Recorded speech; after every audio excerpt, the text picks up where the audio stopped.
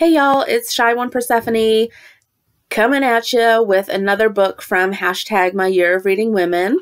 This one is my fifth of this year, and it is Difficult Women by Roxane Gay.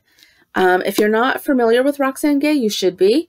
She wrote a really, um, er, well, her most well known book came out a couple years ago. It's called Bad Feminist. It's a collection of essays. It is wonderful. I highly recommend it. This one is short fiction. Um, and at first, I was a little worried that she wouldn't be as good with fiction as she is with the nonfiction, but my worries were unfounded. These stories are great. Um, Roxane is an American author of Haitian descent. I think both of her parents are um, immigrants from Haiti. I could be wrong about that, so don't quote me. There's a picture of her there. I actually really hate that picture. I think there are so many other good pictures of her that she could have chosen for the slipcover, but um, whatever. That's just my opinion. She obviously likes that picture. Um, but what I really like about this collection of stories is that she really represented every woman um, black women, white women, queer women, straight women, urban women, redneck women, trailer trash. Like,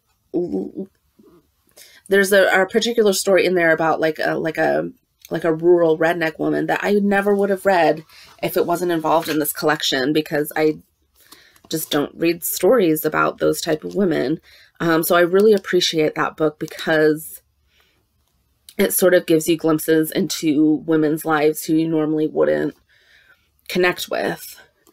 Um, it also I don't want it, it deals with some heavy subject matter. Um, and I don't want to say it's things that every woman experiences, but it's things that every woman fears experiencing. Things like infant loss and rape and kidnapping and domestic abuse. Um, but there's also a really beautiful love story in here. Um, so it really, it's a really diverse book um, really diverse stories. You never get the same thing twice. Um, there's even some sci-fi and fantasy in here. Most of the stories are more based in reality, um, but there's one story in particular about a woman who, like, it rains everywhere she goes, and there's just everything gets moldy and decaying, and um, it, it's a really gorgeous story. And then the the love story I was talking about just now. Um, is actually a sci-fi story, which was actually probably my favorite story in the book. Um, I tend to gravitate more towards sci-fi fantasy than I do the more realistic stories. But um, what is that story called? Oh gosh, let me look. Um, something about darkness. Yeah, the sacrifice of darkness is one of the last stories in the book, but um, that for me was the strongest. Um, this book came out sort of recently, uh, 2017, I believe. Hold on. yeah, 2017. This is a first edition hardcover that I got on sale at Barnes & Noble in their clearance section.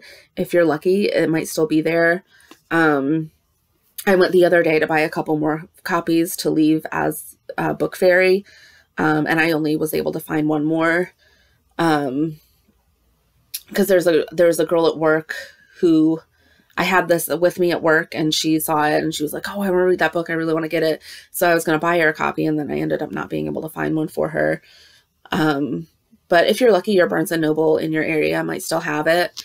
Um, it is out in paperback. Of course, it came out almost three years ago now. So um, obviously it's out in paperback now. Um, paperback cover is the same as this one. It's got this really gorgeous sort of shattered glass heart and this really pretty pink color. The book itself is also this super fun bubblegum pink color that I love.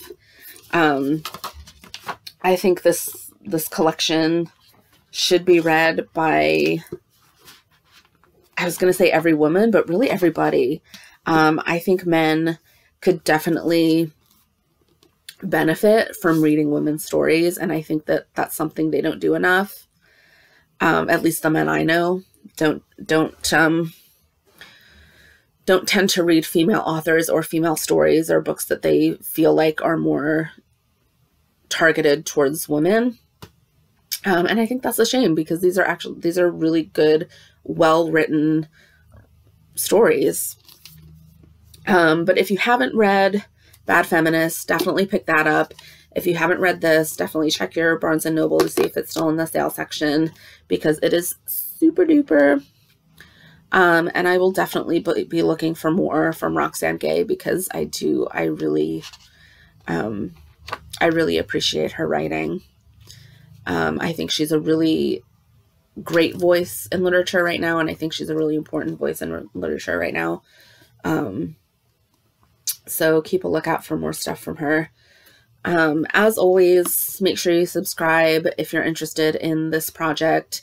Um, on Instagram, you can either follow at Shy One Persephone or you can just follow hashtag My Year of Reading Women. And I will be back later with more books to talk about. Bye.